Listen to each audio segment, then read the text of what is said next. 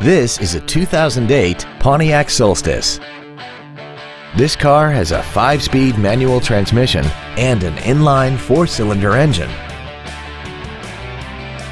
Features include XM satellite radio, a double wishbone independent front suspension, a low tire pressure indicator, variable valve timing, a four-wheel independent suspension, an engine immobilizer theft deterrent system, tinted glass, dusk sensing headlights, a rear window defroster, and this vehicle has less than 17,000 miles.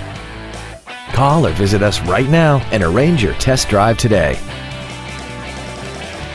Blossom Chevrolet is located at 1800 North Shadeland Avenue in Indianapolis. Our goal is to exceed all of your expectations to ensure that you'll return for future visits.